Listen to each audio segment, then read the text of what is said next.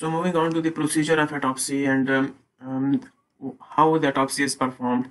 The steps are important. The steps, i.e., the steps in the which I have mentioned in this slide, not the opening of body cavities and removal of organs and stuff like that. But how you are going to remember these steps? Uh, it there isn't much rocket science in here. Just uh, consider yourself as an MLO and a body is brought to you. What's an MLO first? Medical legal officer.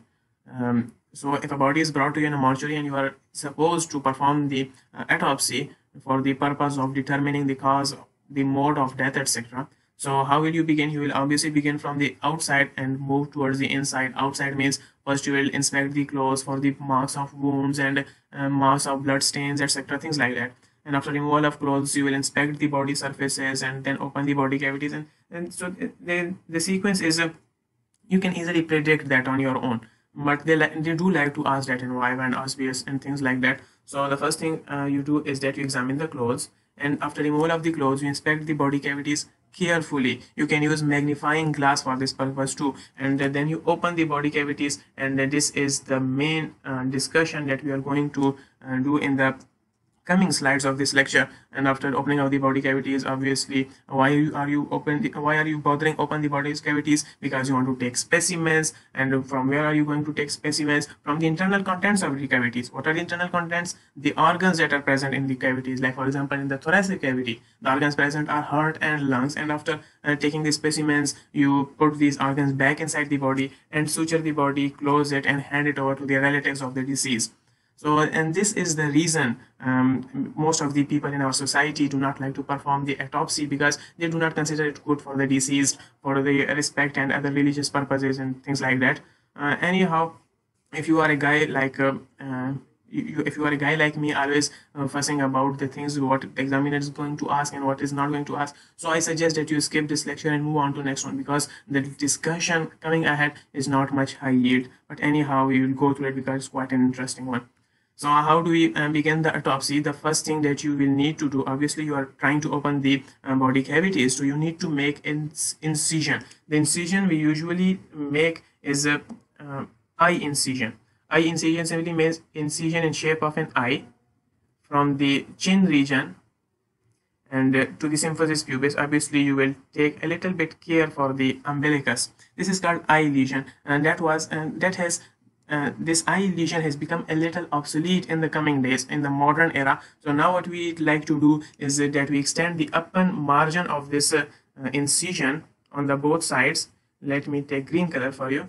So we from the manubrium sternum we, we take the incision to the acromion process. The acromion process of the scapula is right here somewhere near the shoulder joint.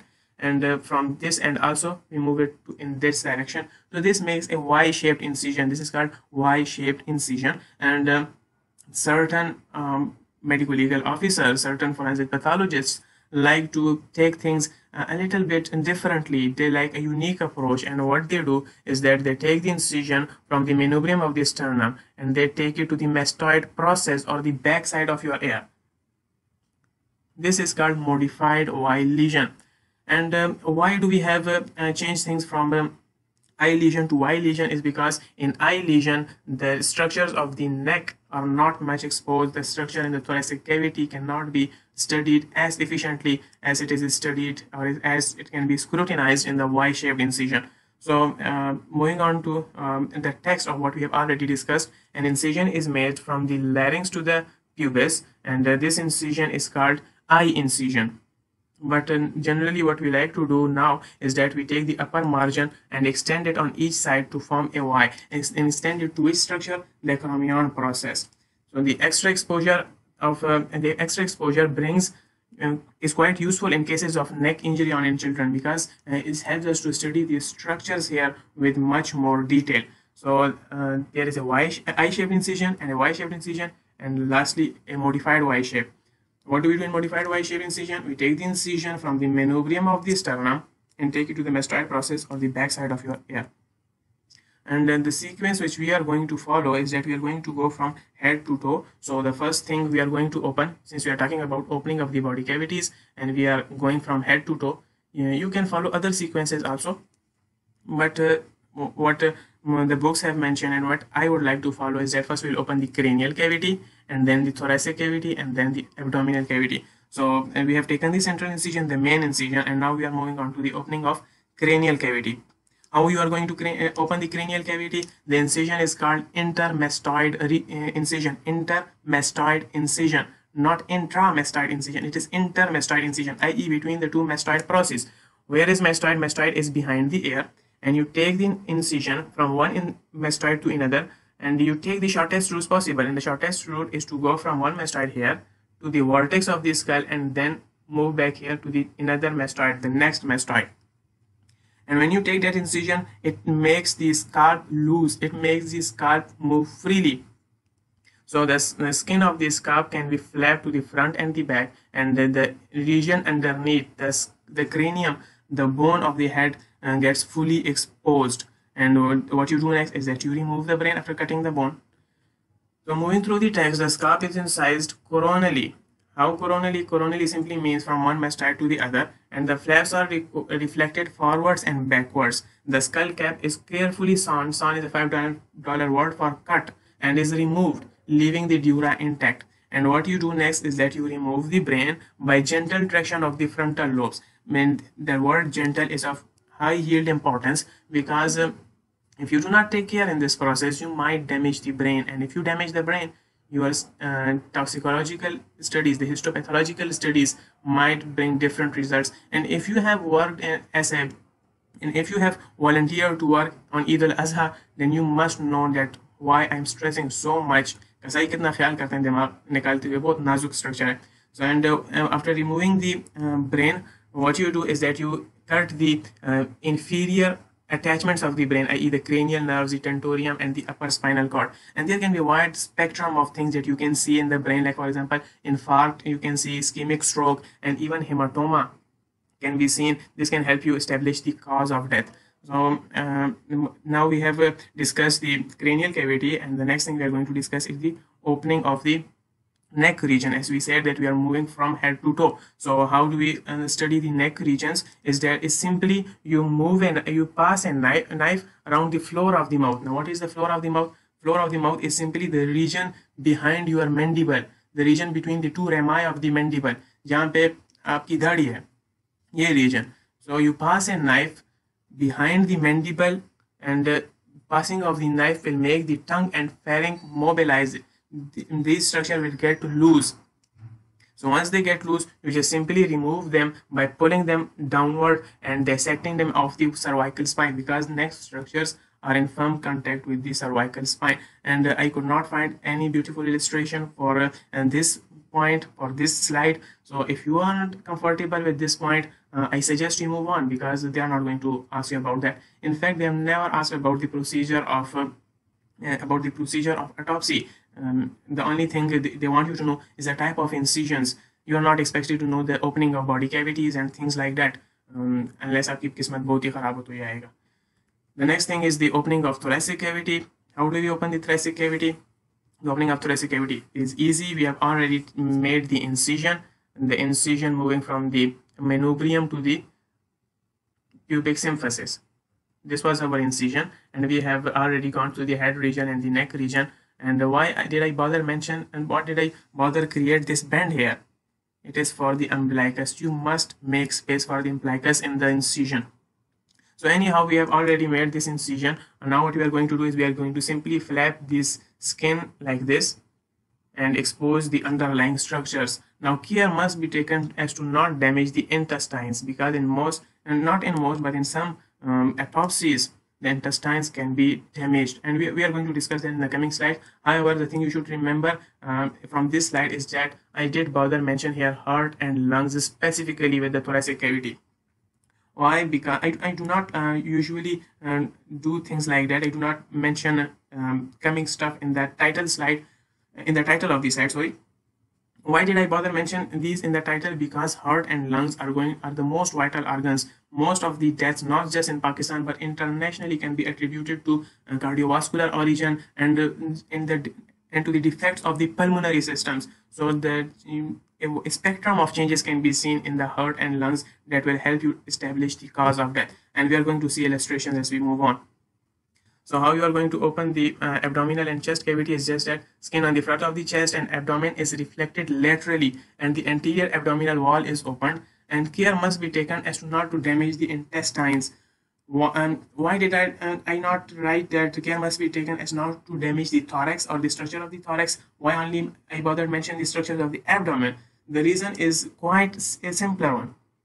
Obviously, the structures of the thorax are two two main structures, the heart and the lungs, but both are protected by the rib cage. Unlike the intestines, the, there, the, there is no bony protection for the intestines. So we have opened the thoracic and the abdominal cavities. Now we have to remove the organs, but for removal of the organs, we need to remove the rib cage. And how we are going to do that is simple. Look at this picture, ignore all the text, everything other than this picture, ignore it for a moment and look at this picture. It gives you everything. You see here the bones are cut, the ribs are cut at the junction, at the costochondral junctions. So uh, the bones are cut at the costochondral junctions and the sternum is thus rendered loose and mobilized. And the top attachment of the sternum is with the clavicle, the sternoclavicular joint. You have to break that joint, you have to disarticulate this joint and this will make this whole region loose and mobilize it you simply remove it to scrutinize to simply take samples of the organs underlying which are heart and lungs. So what you do is that you take you dissect off the skin and muscle and cut the costal cartilages close to the costochondral junctions and then you disarticulate the sternoclavicular joint. And you remove the whole um, sternum along with the, um, the, along with the cartilage of the ribs and uh, this gives you a wide space to work with to work with the underlying organs, the organs being the heart and the lungs. And after opening the uh, thoracic cavity, now it's time to play with the organs underneath. And what are the organs underneath? Obviously, there is heart and there is a lung. And these heart and lungs can give you a wide spectrum of uh, changes, a wide spectrum of uh, findings that can help you determine the cause of the death. Like for example, here's a picture of uh, blood surrounding the heart and uh, this condition is known as cardiac tamponade and here is a beautiful illustration of the uh, thrombosis of the coronary arteries and you see here is a pale infarct of the uh, ventricle. And similarly in the in this slide um, there you see here is a illustration of pulmonary embolism. And uh, this thing here is a, a, perfect picture of the pathogenesis of mycobacterium tuberculosis the Ghon complex uh, with its characteristic caseous necrosis. Now these different pictures that I just went through of the, the pictures of the different conditions of lungs and the heart, you do not need to remember them individually. It was just to uh, help you establish a concept about them, help to establish the importance of these organs in your mind that uh, these are very important organs and uh, they can help you determine the most of the cases they can help you determine the cause of the death, the mode and the manner of the death in most of the autopsy cases. The next thing the most of the books are really concerned about is the determination of pneumothorax. Now, and this is pneumothorax is not that much a common condition, but uh, I see none of the books have skipped it, so going through it won't do much harm. There are two methods by which you can uh, is establish the pneumothorax as the cause of the death. The first method is something called syringe without its plunger method and second is inverted water cylinder method. Now we will go here through the uh, you know the syringe without its plunger method. So let's take here for example let's take this is the plunger and here is the syringe and its needle. Plunger is this, this part and what is the purpose of this plunger? It maintains a pressure gradient inside the the cylinder of the uh, syringe. So the contents of this syringe can only pass in this direction of the needle. There's, and nothing can pass in this direction. So what we do uh, is uh, simply we take a syringe remove its plunger so there is no pressure on the um, on the contents inside the cylinder of the syringe. And the, we fill the syringe uh, with a we fill the syringe with any liquid. Take the example of water for instance. And then what you do next is you take the needle and you insert it in the pleural space. For example let's take this is a lung. And covering the lung is let's say this is the visceral pleura and this is the parietal pleura. And in between the parietal and visceral pleura we have the pleural space. And we have inserted the needle of this syringe which does not contain its plunger and we inserted the needle inside the pleural cavity. So if there is water inside the pleural cavity, sorry, if there is air inside the pleural cavity, obviously the air will follow the needle and we will see bubbles forming in the column of the water. This is called syringe without its plunger method. And the second method is inverted water cylinder method. It is um, almost analogous to this method, but a little bit different. And uh, it is, um, I, I don't think I should, I can explain you better than what uh, illustration, better than the illustration in the Nasib R. Awan book on page 123 and the figure I have here is 14.12. It's a very beautiful illustration and I highly recommend that you see it for once. So let's move to the text. A 16 gauge, sorry, a 16 gauge needle attached to a syringe without its plunger is, inserted is inserted into the subcutaneous tissue over the intercostal space. The water is filled in the syringe needle and is pierced into the pleural cavity. If the water bubbles are seen, then pneumothorax is present.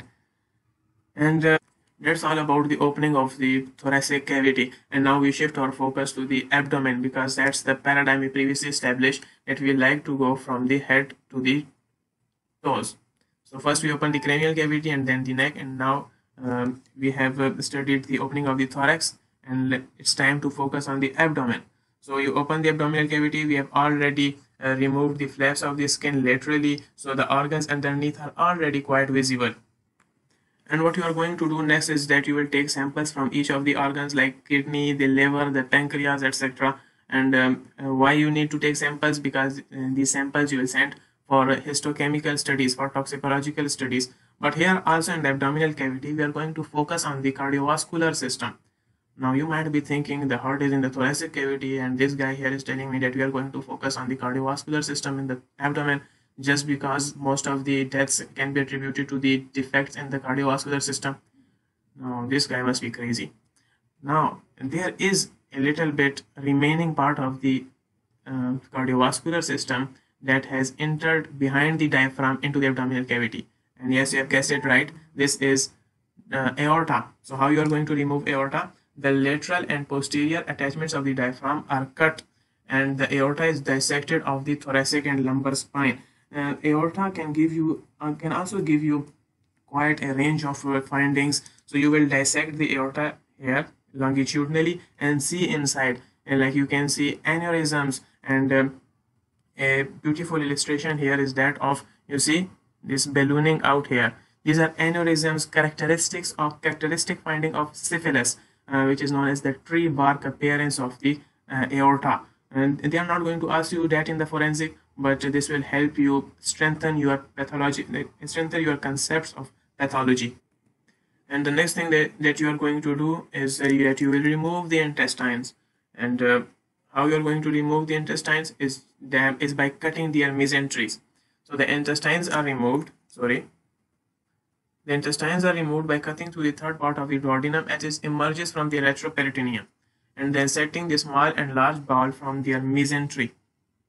And then you take the samples and uh, you do not need to remember the parts where you take the incision or you make you do make the cut. You just need to have a global picture in mind. They never ask this and even standard textbooks, as I mentioned before, standard textbooks like Simpson's and Amir Salim have skipped this topic. So you can skip this as well if you like. But a little bit uh, overview won't do any harm. Just don't make a fuss about each and every point. And the last thing that we are left with now are the pelvic organs. So how you how you approach the pelvic organs is that finally the iliac vessels and ureters can be bisected at the level of pelvic brim. And then the organs will be free of the body and we can be taken out on the table for dissection. And the last thing that you will do is that the pelvic organs are examined in situ or they can be removed for the pelvic examination. And that's all about the procedure. And next lecture we are going to look inshallah at the artifacts the negative autopsy and exhumation etc things like that